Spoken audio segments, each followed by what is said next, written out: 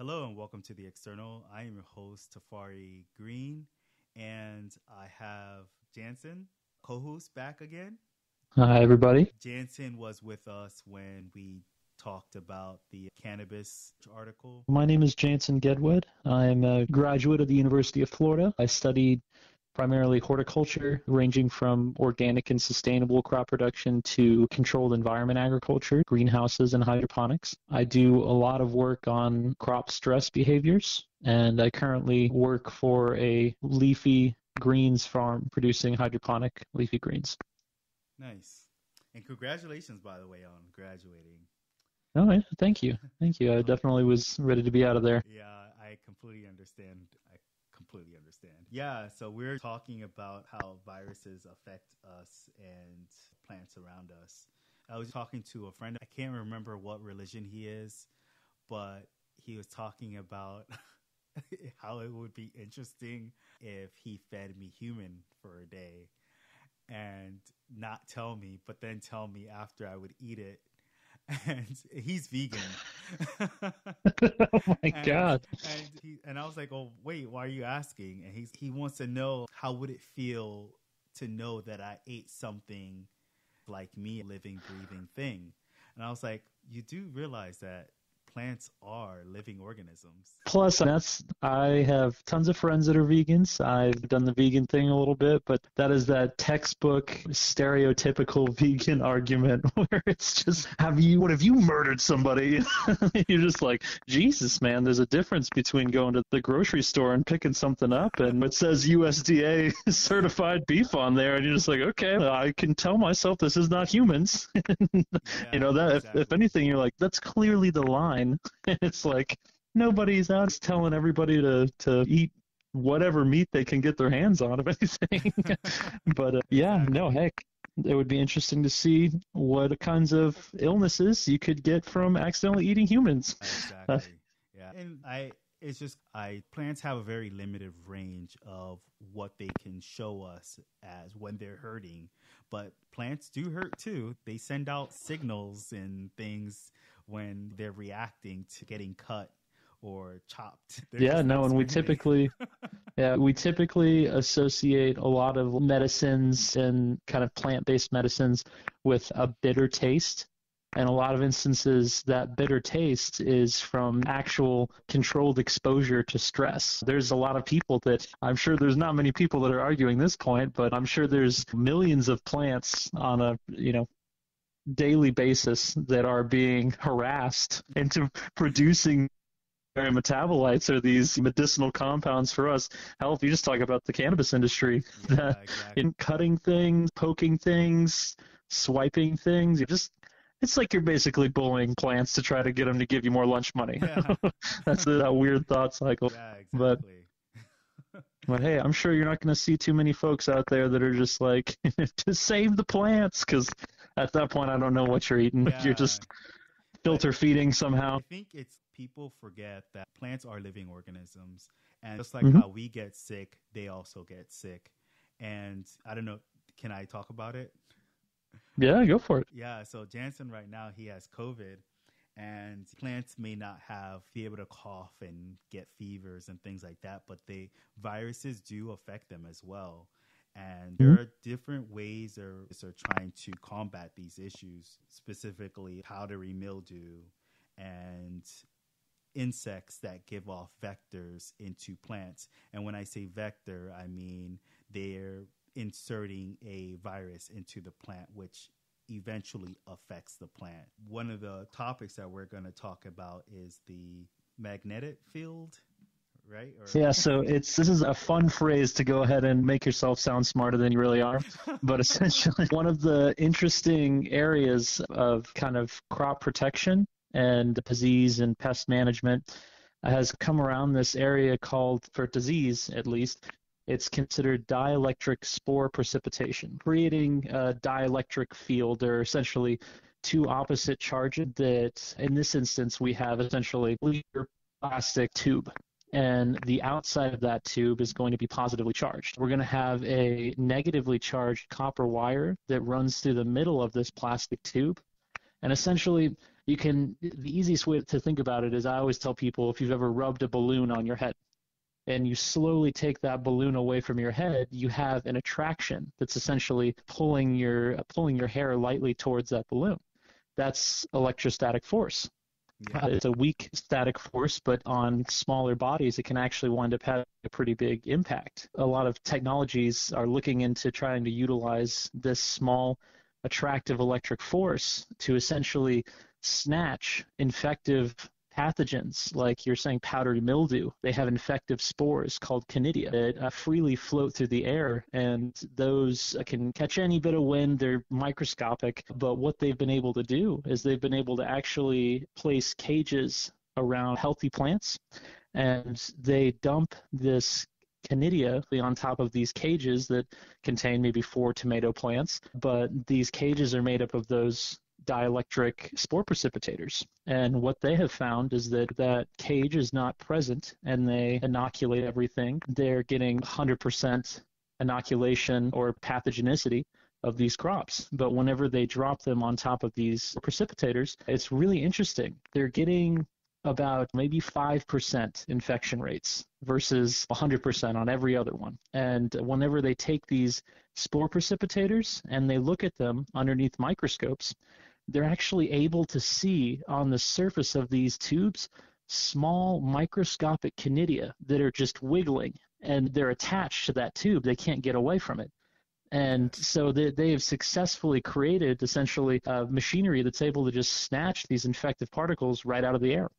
And for anyone who's listening right now, if you go onto the externals Instagram page, I posted the picture and video of what the Conidia spore looks like when it's wiggling. It almost looks like a little tree that's dancing. It's really weird how that works. But can you tell them exactly what inoculation means? and the process. Yeah, yeah. So whenever you're inoculating, when it comes to this, I'll just say it in overarching how you set up a scientific experiment. Typically, we, whenever we want to test something in science, we're going to always have a control which is not going to have the treatment or whatever we choose to do to the plants, it will not have that done to it. It will just basically be out there in the open like regular. So in this instance, for this science experiment, these people basically had a greenhouse that had several different hydroponic systems that were either covered in this spore precipitator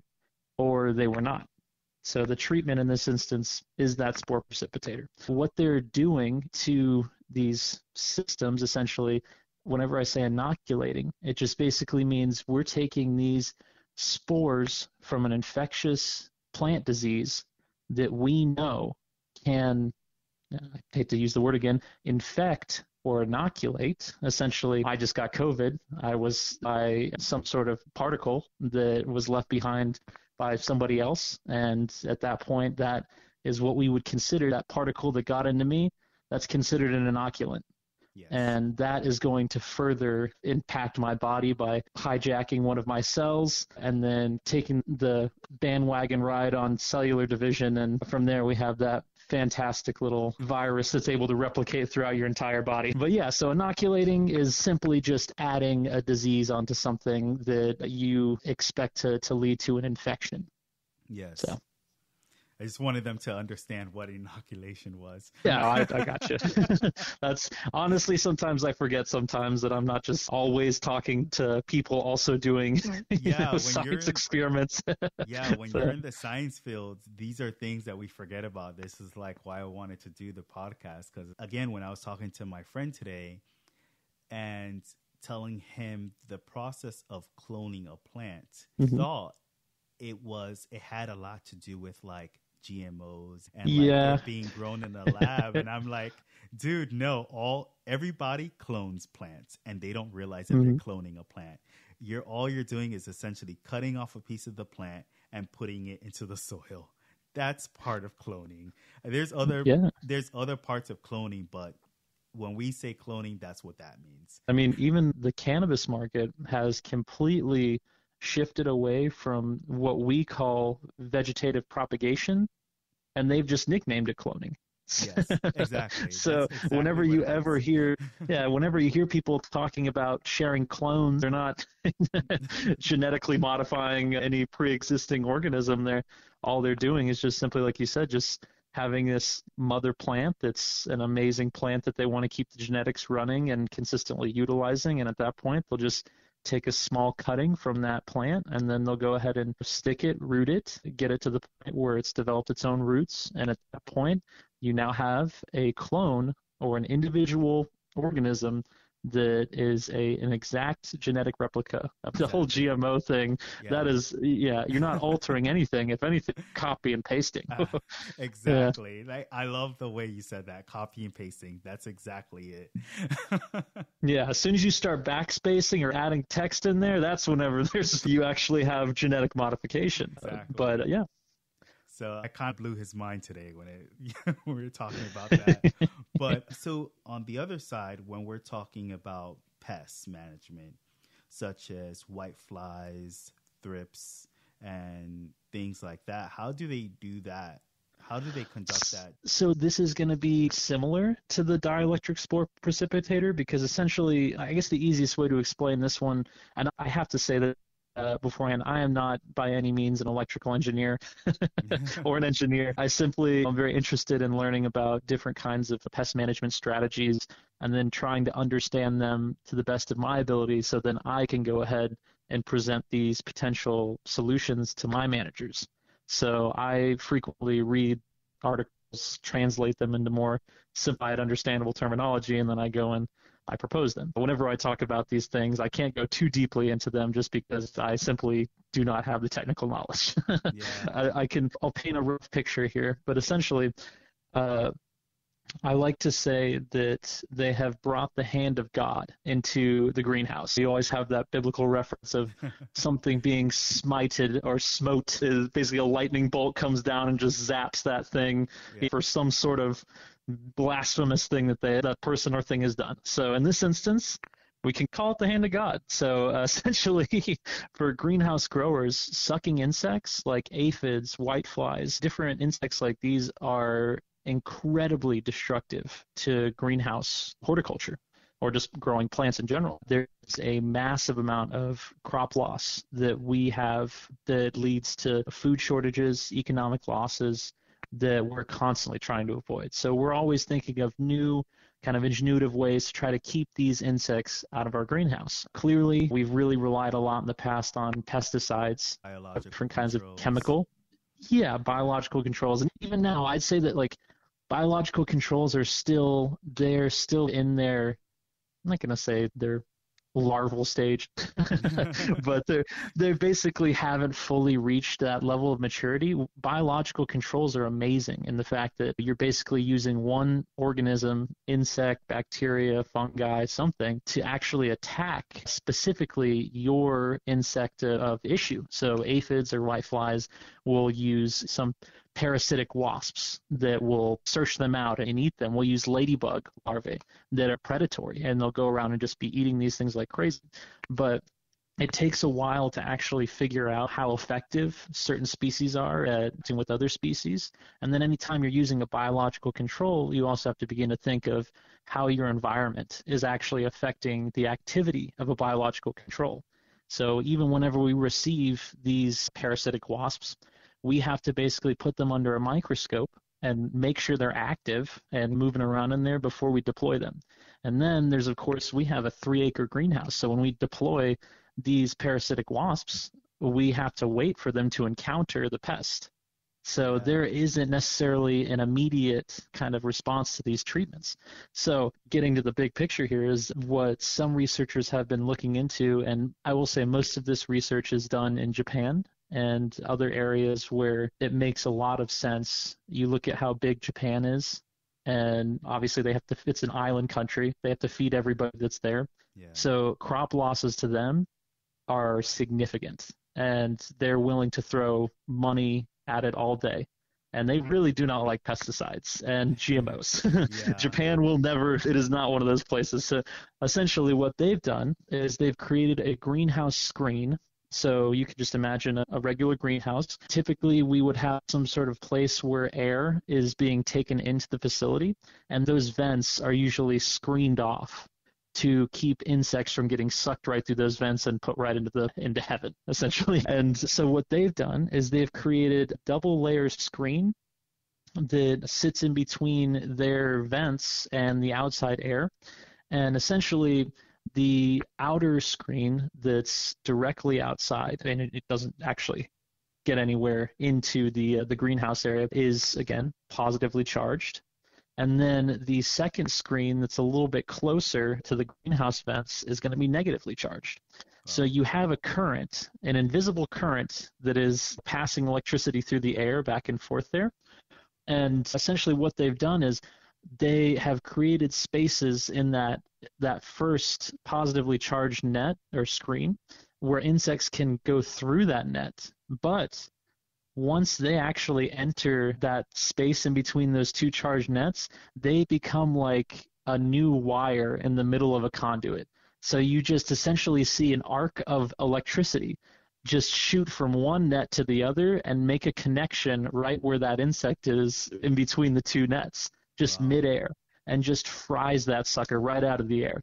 And obviously, if you, the main benefit to using electricity, if you can do it reliably, is obviously you can generate electricity just with solar power, wind power. There's a lot more advances in, in increasing the efficiency of these technologies, but also there's absolutely no residue left over to damage your crop or potentially create a food safety hazard, but there's also an immediate action that ends not only that pest's life cycle, but if that pest was had eggs, we wow. may have been able to kill the adult form with some sort of pesticide or treatment. But, but those eggs, yeah. yeah, not the juveniles. So in this instance, we're frying the whole thing. And so, yeah, it's a really interesting piece of technology. I'm sure that we're going to start seeing it a bit more.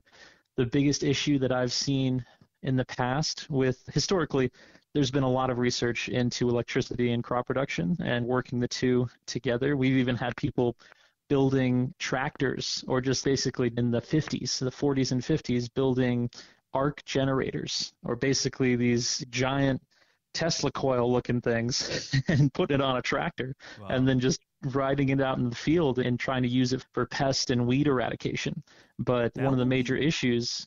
That would be yeah? interesting, especially when we're talking about things that really destroy a crop such as nematodes that can destroy mm-hmm. a crop for up to 20 years. If that thing could disintegrate all of those nematodes and even their larvae at any at any of the life cycles, it just kills everything at all life cycles. Mm-hmm. Be amazing because the thing is that when it disintegrates everything, it's not leaving anything behind where a fungi can take over and then start being destructive. Yeah, it would definitely. I will hazard that with the saying that the while it does have an effect on everything within a certain range of that the actual source of electricity, it by no means can penetrate four feet into the soil. Soil just earth is something that naturally dampens electrical currents. Yeah. You know, anytime there's a lightning strike, you know, people in a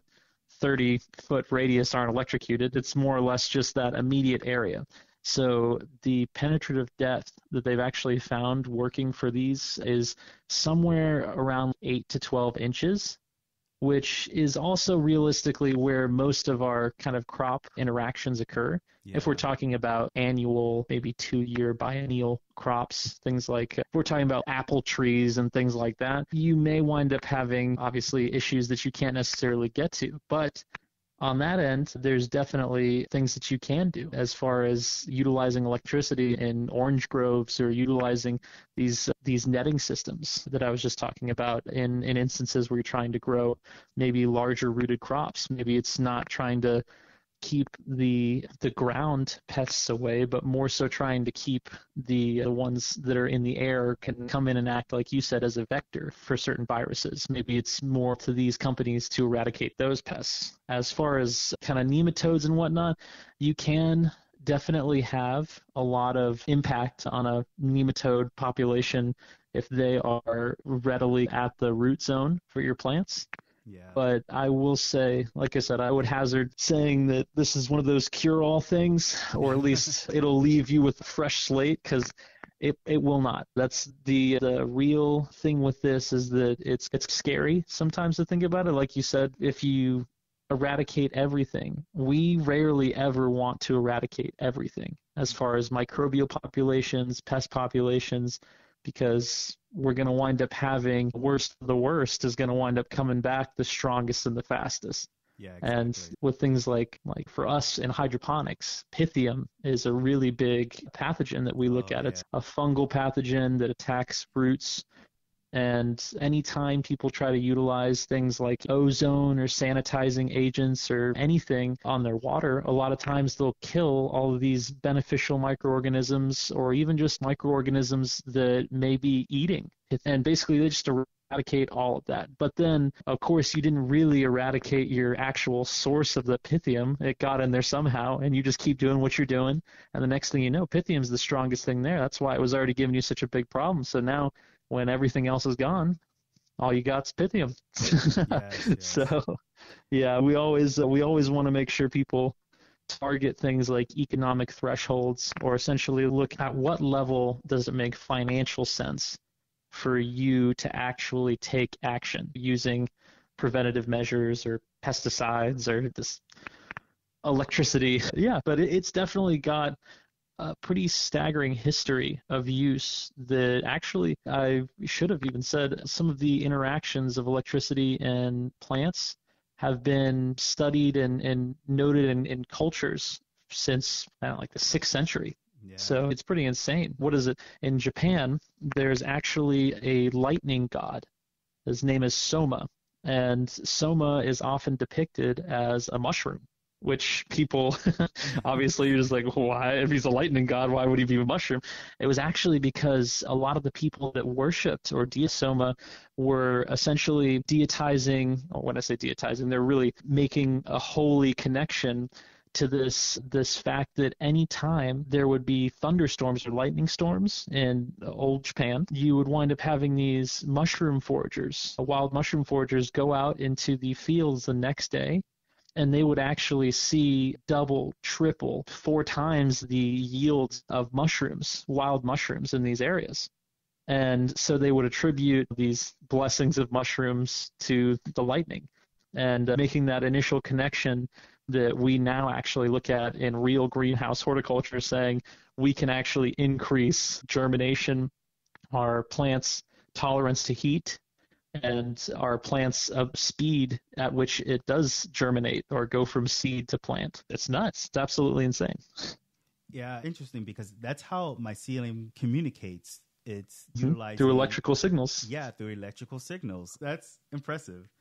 yeah, yeah, it all works basically on. We consider this area of like electricity's effects on plants to be a black box because we know that there's so many species specific interactions and there's also so many times where you can utilize something like 22 volts of electricity being passed through wetted paper that has seeds on the inside of it and they're finding that these seeds, like I said, germinate faster. They have a higher chance of germinating, and then on top of that, whenever they're actually growing a plant, they're, that plant is actually able to withstand higher heats or higher temperatures than their cohorts, and not only higher temperatures, but drought stress, frost Yeah. stress. There's a lot of interesting variables here, but then they found that if you went to 25 volts, you could actually have detrimental effects or bad effects on your plants. So there's this weird kind of like area where scientists are poking around right now trying to find not only the perfect kind of optimal voltages for certain plants, seeds, actual vegetative structures and even fruit, but essentially it's like I said it's a black box. We're really still just stumbling around trying to figure it out. I find this all to be interesting, especially when we're talking about white white flies, because destroyed the Floridian agricultural system when we're talking about oranges, because you can't even if you want a orange that's from let's say Georgia, you can't bring that orange into Florida. You yeah, the, the Asian for that.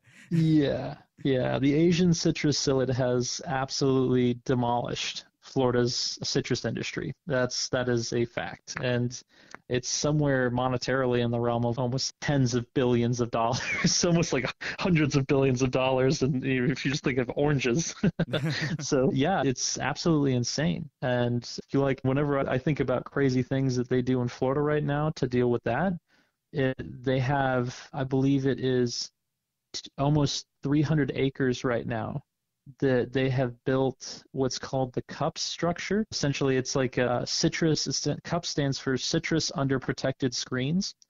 And essentially, if you think of these patio screens that people have on their homes, essentially they've put up these screens over 200 to 300 acres oh. of citrus orchards.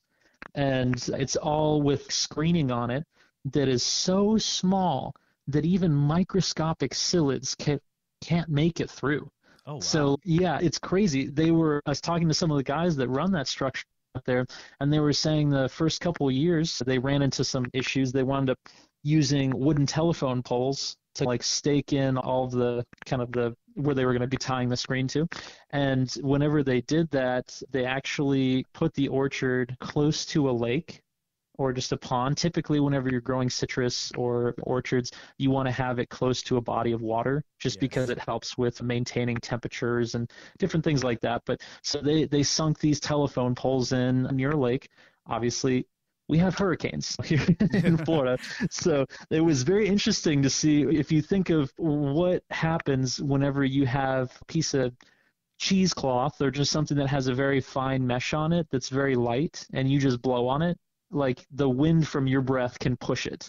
So if you think about a hurricane, try hurricane force winds coming through mesh sizes in screens that are meant to keep out micro microscopic organisms, you basically had the entire structure was demolished. But all of the plants inside of the structure were completely fine. Wow. The the yeah, they said that the the force of the wind completely uh, ripped these telephone poles out. They were flooding from exposure to water from the lake, so they were sinking and collapsing.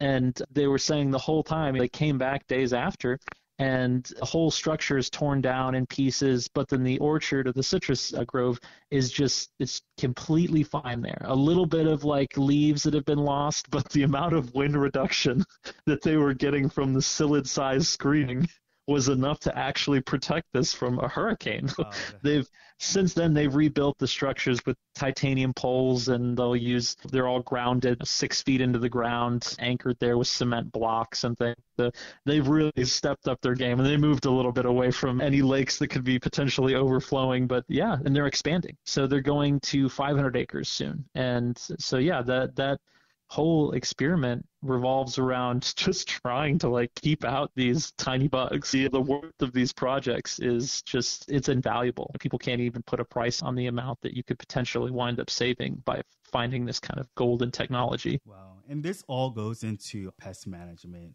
You yeah. you, you want to utilize the least impact that could hurt your plant or crop than use something so hard like a insecticide or a pesticide of some sort. Because farmers don't want to use these things but sometimes they have to and that is relative upon the infestation that they're that they're having. And when we're talking about white flies they're indirect pests which means they are not harmful to the plant. But the viruses that get into the plant eventually affects the plant and kills off your whole crop. Yeah. that is why we're just like, yeah, we don't like these bugs. yeah, and we're looking to do anything just fry them straight out of the air if we can or just with the uh, with the smally bo- smally the smaller bodied insects like these white flies and psyllids, they're actually finding that some of the turning up the energy on these dielectric spore precipitators that we were using for snatching conidia or pathogens out of the air. They're actually able to do that with smaller bodied insects like these psyllids. So you can just imagine a psyllid flying close to a crop that it was looking at, and all of a sudden it just, it's like it's stuck in a tractor beam and it just slowly gets pulled into this electrocuting box. Essentially, we're basically trying to create highly preventative scenarios and environments that will keep us from ever really having to resort to chemical applications or really you know, breaking the bank on on a lot of different pest management strategies and instead just putting it all into prevention. Yeah, I recently had a white fly situation with a cotton tree that I had. It's still at its like juvenile stage with the with this cotton tree and I was thinking to get some ladybugs to eat them all. but then I was looking online and it was just so many ladybugs for the amount of white flies. I like, I think there's six white flies, but this box has 2,000 ladybugs in it. Yeah, that was my problem. So yeah. I had to go to an insecticide to kill it because yeah, that would have been a waste for me to get these ladybugs inside of a really small patio. Yeah. And realistically, we definitely will recommend if somebody's experiencing kind of these smaller scale issues and they're not like commercially selling the product, if they want to look at things that may not necessarily be chemical, you can always look into just soapy water, baking soda and water, using things like for chewing pests. So for caterpillars and things like that, we'll a lot of times we'll say just go ahead and boil in a pot of water a bunch of uh, a bunch of cayenne pepper in water. Yeah. And then you can go ahead and just let that cool down and then pour that in a bottle and spray that on your plants. Anytime these insects start eating it, they they taste the cayenne pepper. They do not like that. Yeah. There's tons of different things that we can do to treat individual plants, and I've even seen I've even seen people just take a single tree that was experiencing issues six or seven feet tall, but they basically just covered it with like mosquito netting almost, and then they basically just took that 2,000 2,000 ladybugs, and they just opened that sucker up underneath that, that netting and then just trapped everything inside of the tree. And so in that instance, you just have a, a tree absolutely covered in ladybugs. Wow. so there's really no way that, that that those insects, you know, your insects of issue are not going to be eradicated. yeah, that goes back to the whole like integrated pest management and the steps in that. And I do have a, if anyone who's listening right now, there is a episode I have specifically that talks about that. I remember one time I spoke to you, Jansen, about when I sprayed neem oil on my hibiscus and mm. I told you how it fried my hibiscus. Yeah. And, and now I realize never thought about it before but you're telling me the best time to spray things like that, especially that's oil based, is to spray it at night. And then I started mm-hmm. thinking about it and I was like, oh my God, Jansen is like smart because I, I, I, know I don't always come off that way. no, I was just thinking like, why didn't I think about this? Because yeah. the stomatas close at night and it's a lot cooler in the night as well. The heat and then the oil is is not creating this environment to fry my yeah. hibiscus. I would say any anyone that's cooked chicken or just cooked something in a skillet or something like that knows that all you got to do is just heat oil up. And so in the daytime, we'll have temperatures on leaves sometimes, depending on how stressed they are, get anywhere from 80 degrees to 90 degrees. Your air temperature is usually going to be you always want your air temperature to be higher than your leaf temperature on your plant just because that shows that your plant is actively letting heat off and like breathing for all intents and purposes. But yeah, if you wind up essentially just giving it a really hot day, a lot of bright light, that and you cover, like you said, you cover the stomates in this oil, it's going to try to breathe. It's going to wind up not being able to. It's going to close those stomates. Your leaf is going to start heating up rapidly because it has gases and heat trapped inside of the plant that it's not able to let go of. And then on top of all that, now you have uh, essentially a bubble or a lens that you've coated your leaf in that is amplifying light penetration and basically heating up increasing light damage. Yeah, it's a whole bad mess. And there's so yeah. many people that fry their plants every day. Anytime you use something that has the word oil in it, it is so recommended to use that stuff at night. And even then, most pest damage is going to wind up occurring at night. A lot of these a lot of these pests don't want to be outside during the day when it's so hot. A lot of them will begin to come out and crawl around and do most of the damage at the nighttime or in the morning. Yeah, that's true. So, uh, So I just I didn't think about that till later, and it just and I'm one of those. I think it also comes from your like personality type because when I'm sick, I'm I'm I'm a pill popper. I'm popping all the pills to get rid of this freaking virus out of my system. Yeah. That's the same way I treat my plants. So you're just like, I'm just going to unscrew the lid on this bottle and I'm yes. just going to pour the thing on. Three spritzes becomes a drench. And yeah, no. All of my I, plant knowledge is out the window because I'm trying to solve this problem. It is hilarious the amount of people that you're just like, how long have you been growing things for? And then you just, you run into a problem and then all of a sudden they just just panic and start throwing everything at it. you just stop it, calm down. You know, this exactly. this is not how we're gonna do this. It's like a guy that's there's a fire somewhere and somebody's just freaking out, just throwing anything they can find onto the fire to try to put it out, and you're just like, that's wood, that's straw, don't do that. Yeah. So in a lot of these instances, whenever you have like over application of things like insecticides or any sort of chemicals you're putting on your plant, there's a toxicity there. There's an opportunity for you to be the one that hurts your plant.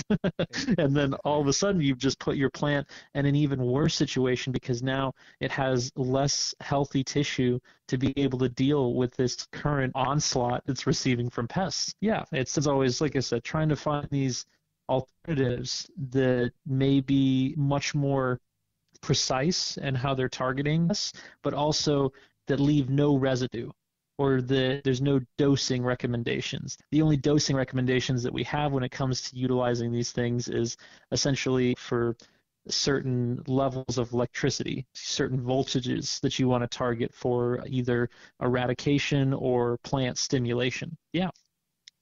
Wow. Thanks again for coming on the podcast and bringing this uh, subject to me because sometimes I get so stuck on the the scientific like plant side I don't really get into the whole integrated pest management side of it.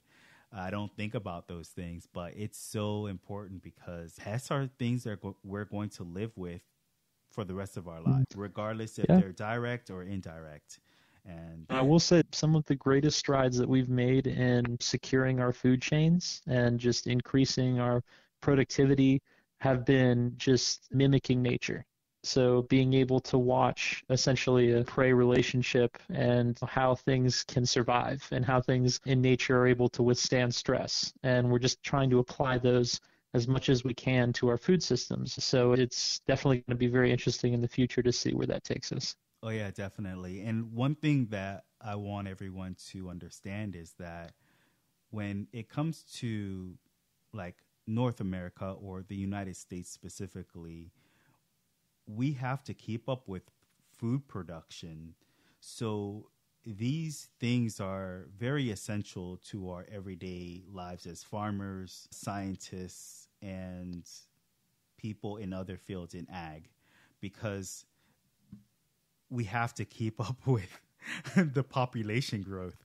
Whereas Russia used to be, before before this whole war, Russia used to be like I think for the last five years they were one of the, like the number one agricultural for import, and that is because they produce things by season. And so if carrots aren't in season in the fall, people knew to get something else for that season. But in America, we we want everything now. We're not going to wait the next season, or else there's going to be an uproar and conspiracy theorists and all kinds of things. Yeah. Oh, why we're not having carrots in the fall. Yeah, we definitely. It's interesting looking at how the globalization of our food market allows us to have such serious attitudes towards yeah. food. You're just like, I want my baby carrots now. it's I don't care if it's, you know the dead of winter and yeah. no one near you is growing an apple i want an apple like so yeah there's definitely a huge impact at that seat it's crazy seeing people's attitudes towards food and I know there's plenty of people that I've met from Eastern Europe that end up saying, What's your favorite fruit? And they'll just be like, I remember the first time I had a banana. I had it on Christmas. It was my birthday. and like it was the sweetest ever tasted. I'm sitting there just man, like I remember I got my first banana at the grocery store. Someone just like handed it to me for free, kind of thing. And so yeah, there's definitely a huge disconnect on kind of appreciation of different kinds of food. And I will say, quick plug here, but uh, not the business in particular, but just that's why we have companies like the one that I work for, which I'm not going to go on naming, but the one that I work for, that our goal is to try to like increase food satisfaction and food quality, shelf life. Something I, I hate to say that we were getting a luxurious attitude before, but something that we do need to get out of the habit of is this whole attitude of just buying bags of lettuce at the grocery store that's been sitting in transit for two to three weeks, and then you get it back to your house only to open it, and then within three days it turns to mush. Yeah, like the, exactly. there's this weird thought that we have in our heads. It's oh, it's normal for salad to just go bad in four days. When in reality, that's just a short arm, a huge disadvantage that comes from our kind of inefficient transportation system. With these companies right now, I really want to plug these guys that are really putting everything on the line money wise to increase that quality of produce and quality of nutrition. A lot of these plants, as they breathe and die in transit, they're losing nutritional value. We we really want to try to not necessarily globalize the food chain because yeah you are taking nutrition out of everything and putting more carbon dioxide into the atmosphere by having a, a a huge supply chain that relies on transporting cargo from Australia to India, from Mexico to New York. So, yeah, do some stuff whenever you talk about seasonality and farming. Like, that's definitely something that's much more beneficial to obviously environmental policies and kinds of cost effects of these damaging effects of climate change, things like that. Like you said, we're going to have to continue to increase our crop control, our yields, and everything with our with our population. Like we we definitely will continue to see an increase in, in need for food, but at the same time, it's really going to be these effects of climate change, yeah. the things like extreme natural disasters and increasing temperatures. We have farmers that may not be able to grow the things that they've been growing for the last 50 years Exactly. Uh, just because of yeah challenges of the environment. And so it's not only the challenges of the environment; it also has to do a lot of the times with the increase in population and culture.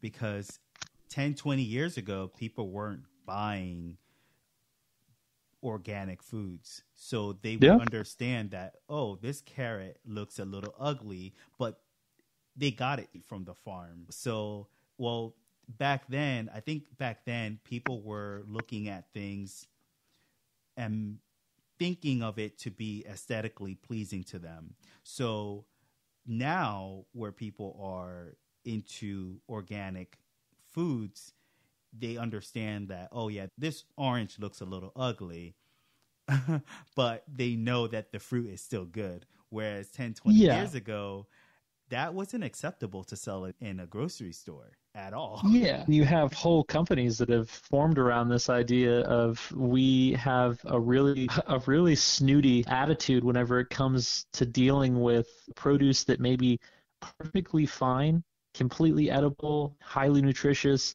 but it's too big or it's too small or it's crooked. You have companies like uh, what is it, Misfit Market and different kinds of essentially it's re- it's a really cool process. We went to this farm that grew nothing but pickles and they talked about I say pickles they grew nothing but pickling cucumbers. But they showed us at one point like oh this is just this is our dumping crate. We have it was almost it's one of those like portable dumpsters that you see people drop outside of apartment complexes when they're renovating. Oh, yeah. But this was filled with nothing but cucumbers.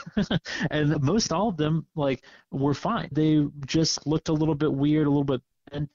But the guy was saying like we cannot sell these and this is about 10% of what we grow and in a season and unfortunately nobody will buy these. We can donate them to, to people, but nobody in the market will buy them.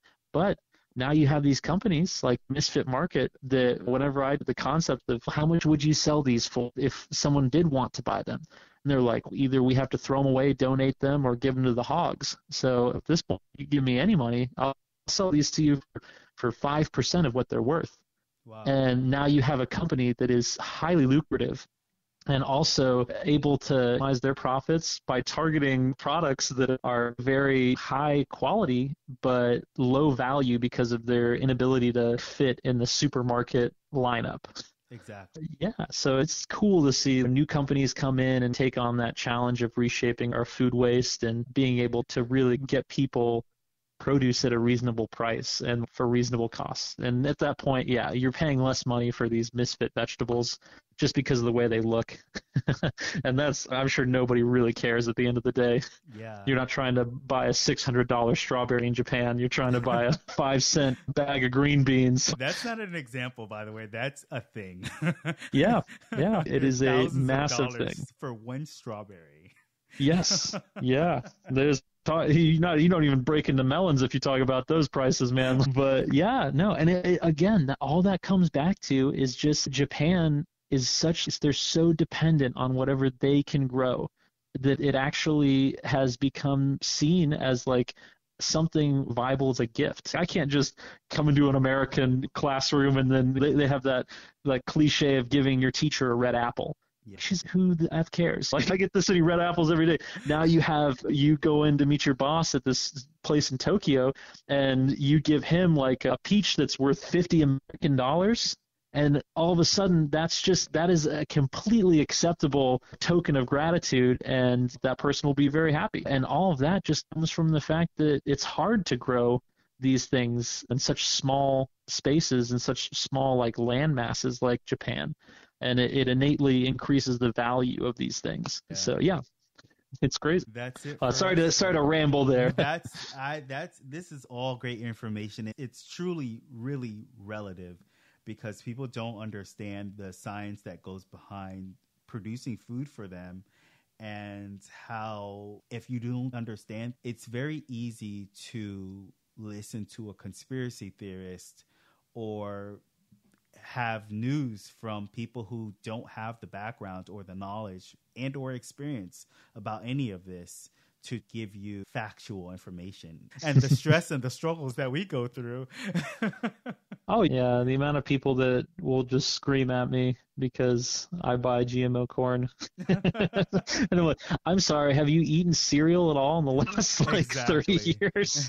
like, you know, yeah, it is what it is. And right now, heck, we're gonna we're about to see the release of potentially the world's first highly accepted GMO tomato variety that is going to be this really cool deep purple that actually has an immense amount of anthocyanins in them and Wait, antioxidant Are you- potential. is this a special are you giving me a are you giving me a little bone here yeah, this is just something. Um, yeah, I guess so. You definitely have to be in the in a bunch of newsletters to hear about this stuff. But uh, that's something that's on the way right now. Is a new GMO tomato variety. I can't remember off the top of my head the name of it, but it is essentially it almost looks black. It's so purple. Oh, and wow. the real target for this one was to increase this anthocyanin account, the medicinal compounds in plants that produce purple, red, blue colors and are often associated with anti-cancer properties. So that's it's cool. Yeah, One day you're just like, amazing. okay, eat this GMO tomato; it'll help you not get cancer. And then there's people on the side that don't understand GMOs. Are like, wait, but I thought GMOs gave you cancer. So it'll be it'll really be making some people's heads spin then. yeah definitely i think i should definitely do an episode on that yeah. Oh yeah, man. yeah, that'd be great. But I am your host, Tafari Green, and this is The External. You can look us up on Instagram at the.external. And Jansen, you want to reintroduce yourself again? Yeah, I'm Jansen Gedwood. Lucky enough to have somebody put a microphone in my face. Uh, but uh, yeah, I love coming out here and sharing this stuff. Like I said, just make sure that you support your local food producers whether that be a greenhouse or a farm or even just a giant plant factory somewhere that just happens to be closest to you. That's the way that the world needs to work now if we're really going to try to increase our quality of life and increase our lifespans. Yes, Thank you. yes. Please support your local farmers. You'd get so much stuff for free from them than you would a grocery Mhm. store with Oh, way yeah. much more quality. Oh, yeah. but thank you all for listening. And this is, again, The External.